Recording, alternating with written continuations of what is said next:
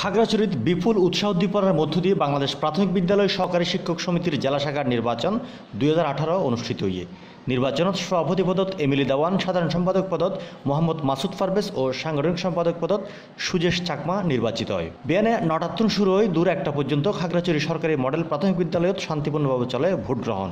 নির্বাচনত সভাপতি, সাধারণ সম্পাদক ও সাংগঠনিক সম্পাদক পদত ছয়জন প্রার্থী প্রতিদ্বন্দ্বিতা করে। আর নির্বাচন ভোটার সংখ্যা ছিল তিনশো ছিয়াত্তর জন। প্রতিষ্ঠার ফরতুন সংগঠনের ইবেই প্রথম নির্বাচন। Desk news C plus TV এই যে দেখো কেওয়াই এর মুরগি মার্কা ঢেউটিন দিয়া বানানো আমার ঘর। কেওয়াইয়ের মুরগি মার্কা ঢেউটিন লাগাইলেই হিট